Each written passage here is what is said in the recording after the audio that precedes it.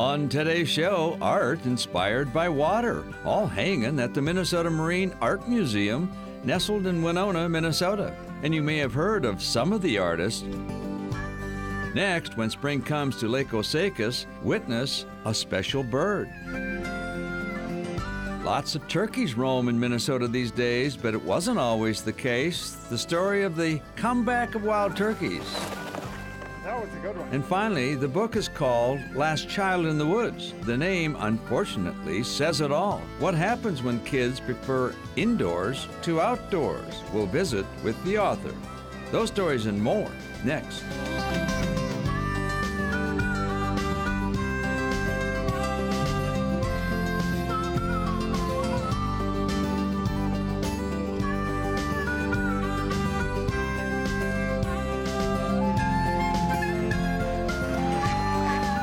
Minnesota Bound. Brought to you by Minnesota Select GMC dealers. Hi, everybody. Raven and I welcome you to the show. You know, we all know we like our water, we like our lakes, we like our boats here in Minnesota. Well, guess what? In Winona, Minnesota, it all goes on the wall as a beautiful painting.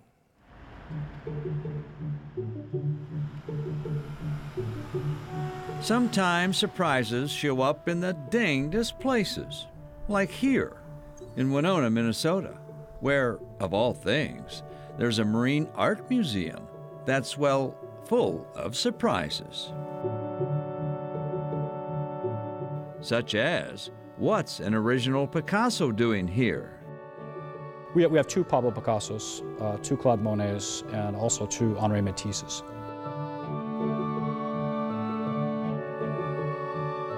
Famed historic original paintings just hanging here along the banks of the Mississippi River.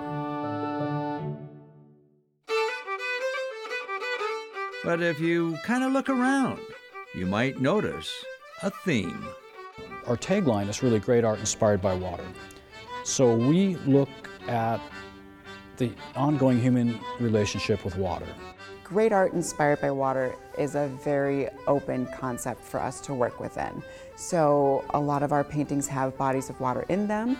They are painted by artists who have a strong relationship with water. Minnesota has over 90,000 miles of shoreline. We are the land of 10,000 lakes. Water is a super important part of our lives.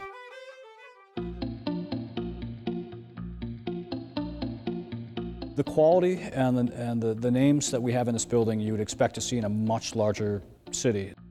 Well, let's take a look around. If you know nothing about art, you will recognize names like Claude Monet, Vincent van Gogh,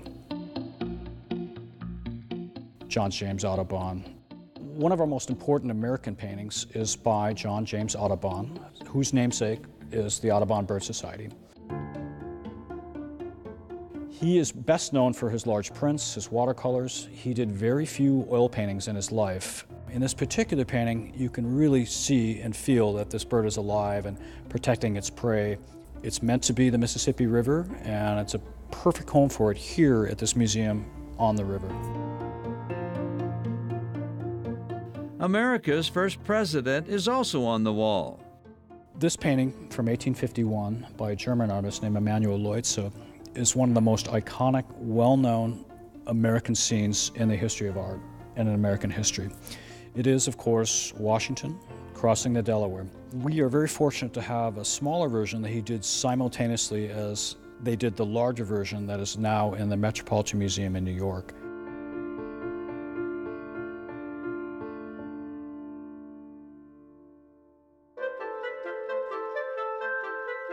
We have a very important one from the 1860s by an artist named Alfred Britscher. When it came up on auction a few years ago, they asked both the University of Wisconsin and the University of Minnesota, do you recognize this? Well, within two minutes, the people from Wisconsin said, oh, that's Winona. That's Trempealeau Mountain. Winona surprises us more than more than not. I mean, you look at the summer, the great festivals that are here, and then and you come to this wonderful art museum, and yeah, uh, they've got some good ideas here in Winona. Indeed, this good idea, a marine art museum, floated up and up. The museum itself was founded by a group of local business people who were interested in finding a home for a very large river barge that was in the process of being decommissioned, be, you know, being retired. But from there, it grew to include uh, some other people who were collecting art with a water-based theme. And then from that, we decided to go with just a museum centered around art inspired by water. It's about water and, and our relationship with nature. So you've never seen a Matisse, huh? No, no. The majority of our visitors are jaws on the floor. So, the next time you're in Winona and you step into this marine art museum, be prepared. Shock and awe. Just don't act surprised.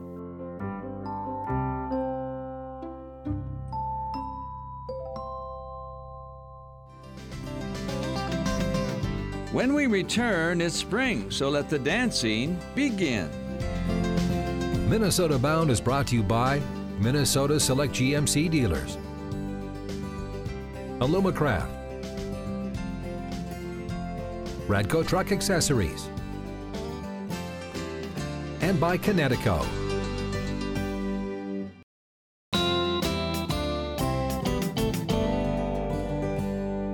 Coming up, one of the greatest spring shows in Minnesota. It's the courtship dances of the Western Grebe. The Western what? Yeah, you can find them every spring on Lake Osakis. We went there.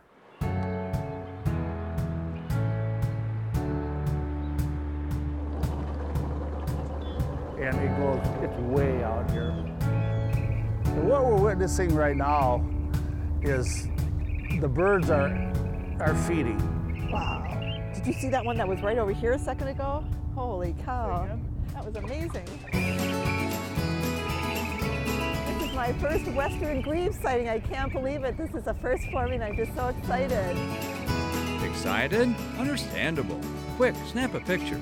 For Eileen Sabis of Minneapolis, an amateur wildlife photographer, the bird in her viewfinder is not only an interesting subject, it's a rare Minnesota sight the Western Grebe. And that's the noise that they make? Yes. Never heard of the bird? Understandable. As its name implies, this grebe species is common in America's West, but very uncommon in Minnesota, except here on Lake Osakis, which attracts the state's largest concentration of these Western visitors. When I first came up here in 1999, it was in the fall, I did some fishing and there was a bunch of them and I, I was just intrigued. Their activity and their, how smart they are and, and I've been hooked ever since. So hooked on grebes, Jim Snyder and his wife Bunny offer pontoon tours for bird lovers interested in this quirk of nature. That's when springtime inspires western grebes to return to Lake Osakis from their coastal wintering grounds out west. There's a nice adult pair right there. One just dove, two just dove. It's funny how it, it's quiet and all of a sudden everybody gets busy. For birds, spring is always a busy time, of course. Time for the mating game. The game that inspires one of nature's most awesome moments the courtship dance of the Western Grebe.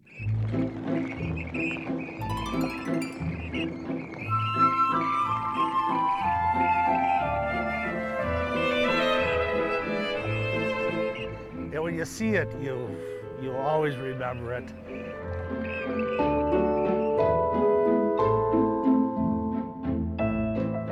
When the mating dance is over, And this is one of their favorite nesting spots.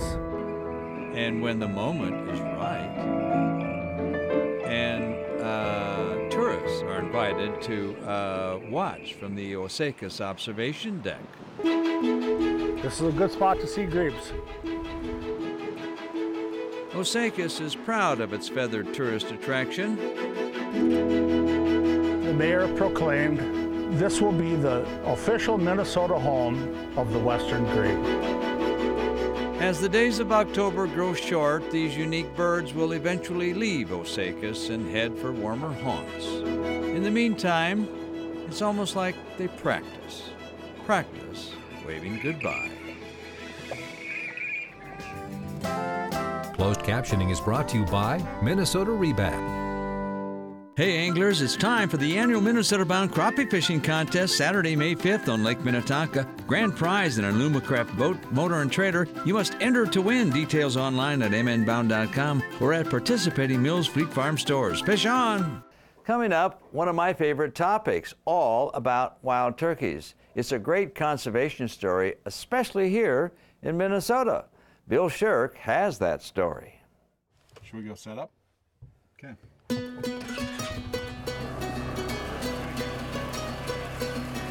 Opportunity sometimes comes in the funniest forms. I hope we get a turkey, Dad. Like this first time turkey hunt slash camping trip for a seven year old. It's all a matter of nature. An adventure born solely because of Minnesota's ever expanding population of wild turkeys. Super cool. That's my son Brady. And in the morning, we hope to see a turkey or two Awesome. or three. Working out great.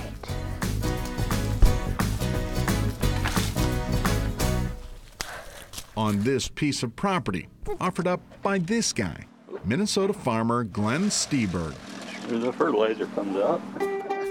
a man with a passion for farming and a guy who long ago learned to appreciate turkeys. Glenn remembers wandering around the family farm as a kid. One day, he finally saw tracks in the mud. And then after that, they, they pretty much just exploded. That was back in the 70s when Minnesota's turkey population was all but gone. See, way back, turn of the century lumberjacks and hunters wiped out our turkey population. I mean, literally, no birds left. But the hard work of conservationists changed that. Were we going to release them over in here? A lot of people did a lot of work on that. Certainly, the National Wild Turkey Federation deserves a lot of credit. They invested a lot of money and a lot of time. Minnesota's first Wild Turkey Federation chapter started by none other than our own Ron Schara. Now, a healthy population of completely wild turkeys roams much of Minnesota. Got it. Exactly why Brady gets the chance to camp for a few days and hunt turkeys come sunup. Oh my gosh! I can see what it looks like already.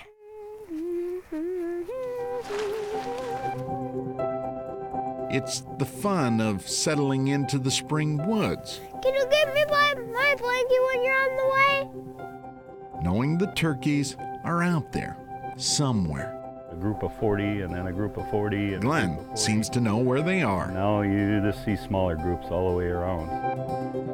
They could open a season up year round, I think, and it wouldn't hurt them. Maybe that's why landowners like Steberg now allow turkey hunters to hunt private property.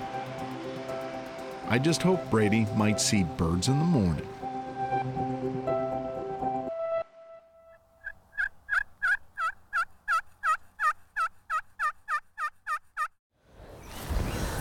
Don't kick the blind. You can't move the blind.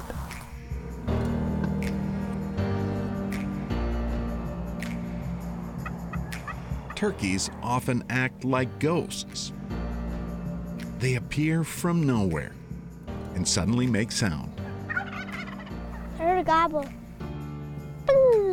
I can't really do it. It seems the birds do not know you're there.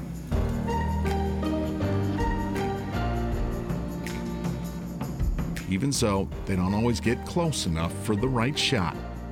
Sometimes, no. You only get one like once in a while. which is okay in my book. After all, that's not really what these hunts are about. I am together with my son. He always talks to me. He says, be quiet, be quiet, be quiet. It's about being outdoors and chasing a bird we now love. You look like giant fat birds. It's the lure of Minnesota's wild turkeys.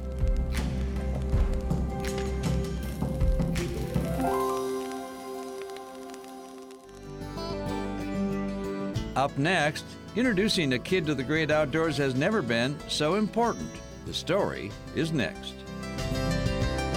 Minnesota Bound is brought to you by By the Yard Maintenance Free Outdoor Furniture, Running Aces Casino and Racetrack, Bent Creek Golf Club Eden Prairie, and by Totem Resorts, the premier destination for world class fishing.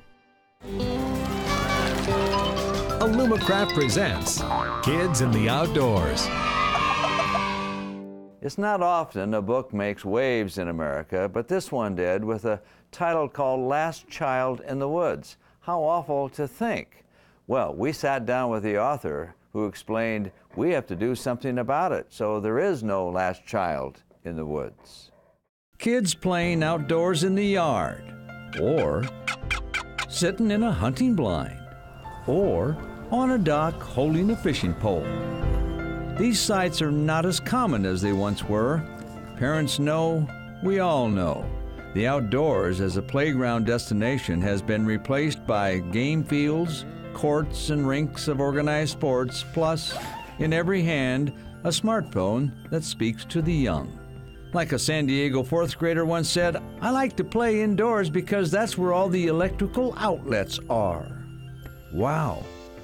Where did that come from? A decade ago, author Richard Louv heard it and gave it a name Nature Deficit Disorder and wrote a book that reverberated with parents and school administrators across America. The book, Last Child in the Woods. And the woods, in particular, were a special place. We recently sat down and visited with Louv during a visit to Minnesota. The struggle to bring nature into young lives continues. According to the research now, suggests that kids, most kids, learn a lot better when they're outdoors in nature than they do in a classroom, hour after hour sitting at a desk. The kids do better on standardized testing. That there's some relationship there between the connection to nature and doing and, and learning in nature. the more high-tech our lives become, the more nature we need. It's a formula, it's an equation. Two. We have to have the balancing agent of nature in our lives, the more high-tech we become. And we are going to become more high-tech. Louv insists, however, the choice, staring at a computer or hanging in the woods, doesn't mean one or the other. It's possible for uh, kids to have both a, a, a virtual life in electronics and a real life, a life connected to more of their senses. Louv said he recognizes the nature challenge parents face, especially urban parents. First thing is take them outside yourself. Don't assume that it's that it's going to happen by itself. Uh, for one thing, uh, parents, and, and I speak for myself too, when I had young boys, they did not have the kind of free range childhood that I did because I felt fear, as most parents now do, of strangers, of traffic. The solution, Louv said, is parents and nature centers. Where they can learn about nature and then take that information home. They can even look out the window of the car and begin, begin to perceive what goes past that window in a different way. All of that has to be conscious. Parents taking themselves and their kids outdoors intentionally, as my wife and I did, we made sure we took them fishing. We made sure we took them hiking. And Louv makes the case that kids who are into the outdoors also are more alive with their senses. When you do go into the natural world, that's the shortcut to feeling fully alive. A common cause for moms, dads, and teachers leave no child inside. Last child in the woods. Now you know why we say remember to introduce a kid to the great outdoors. I'm Ron Schara, of course, always the star of the show as well. Are you listening? Is Raven. Mm-hmm. Yes. Transportation provided by Premier Transportation. Call 1 800 899 7433. To get more Minnesota Bound, including full episodes, go to mnbound.com. And to follow our latest adventures, like us on Facebook